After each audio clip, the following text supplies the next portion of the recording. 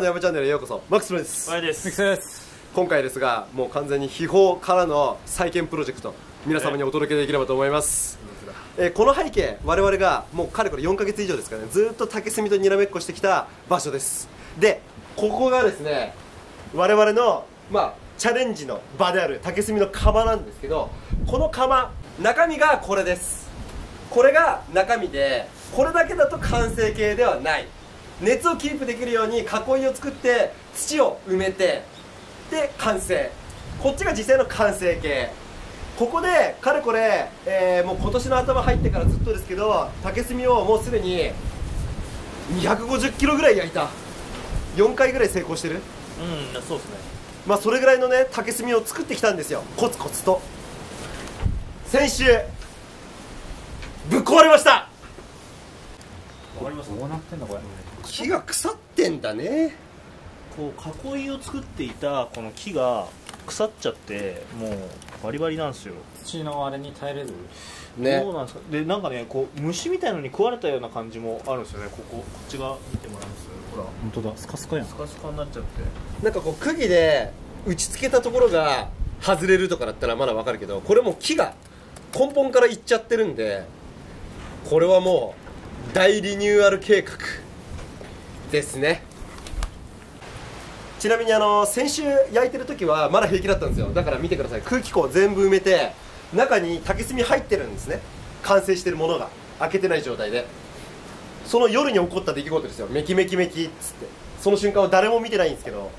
まあそんなわけで工程がございます。まずこれ。分解。うーんちょっとねもうまずそれがまず億劫ですよね。重いよね作業としてねただこっちに近いところまで。はい。これ分解したら土が全部出ますけどそれも全部含めてまあ一回きれい。一回外にも。やばいよ。やばい。人力ですよね。う人力だよ。いやー大変だ。で一回分解、はい。土も全部外に出す、はい。きれい。クリーンアップクリーンアップ、はい。はい。からのはい。木材ちゃんと買ってきましたんでもう一度囲いをゼロから作り。新生竹炭窯ではそんなわけでレッツ分解。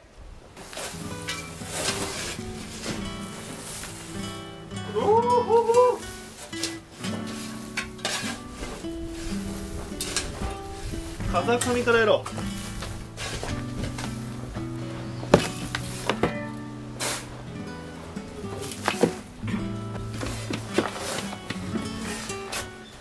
う。一回山の下に帰って僕作業着が欲しいんですが。これやばいよ。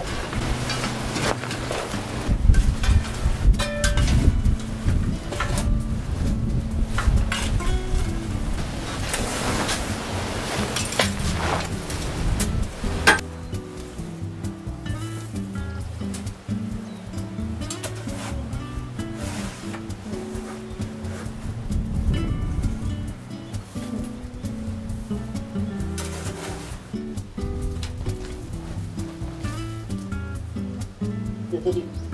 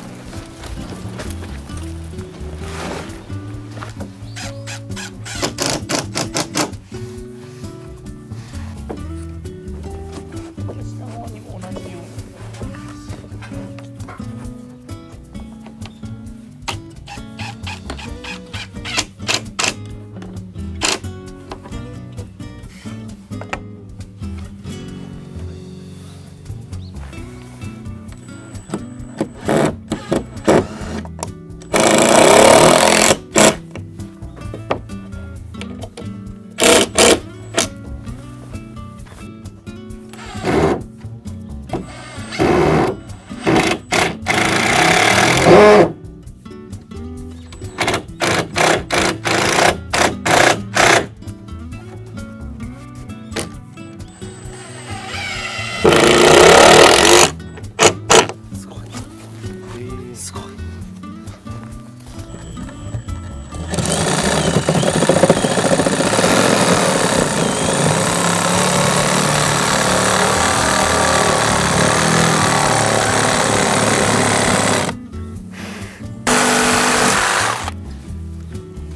じゃあ組んでみましょうか。一旦ちょっとイメージ図を。イメージ図を。置いてみるか。置いてみましょう。仮置きしてみましょう。いいで、えっと、ここのここをね切らないとはい。実測して切って。っていう感じですね。で裏にも同じの。5センチ。じゃあ横は70 70高さ65にちょうど真ん中を切る。はいはい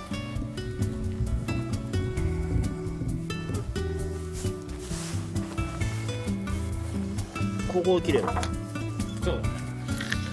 ちょっと角を先やっちゃっていい？どうぞ。すごい。何それ。ぶっといドリルやばえー、すごいですね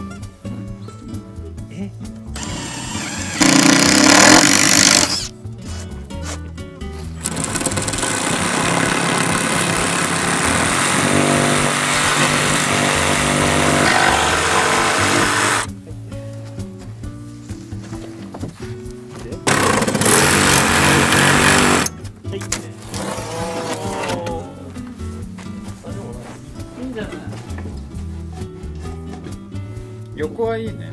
横いいね。うんいいんじゃない？そう加工で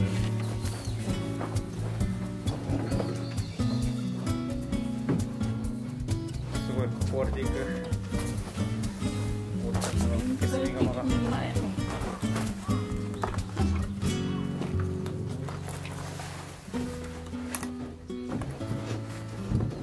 おおー。あれ？いいですね。なんか2.0って感じですね。これすごくない？ちょっとこれ。これ爆薬の建築技術に反映されますいや綺麗綺麗綺麗しっかりね。思いのほか。思いのほか。思いのほか。ねお前の方が完璧すぎて何も。山プロジェクト始まって以来こんな大掛かりな。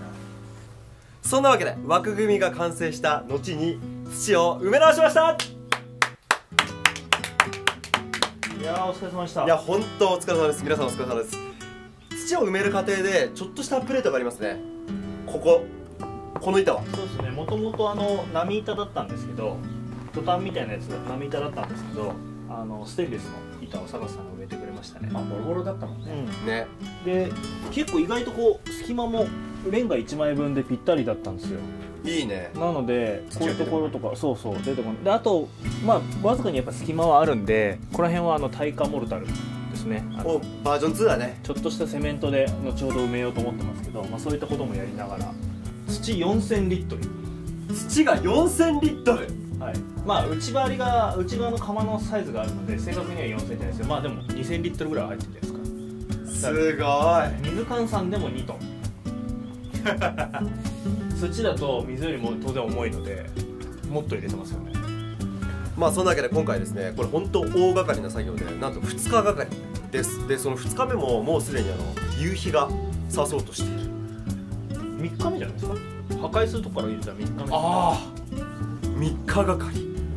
ただその3日でこれだけのリニューアルができるようになったっていうのはすごいね。うん。なんか去年の夏とか活動を始めた頃だと想像できなくない？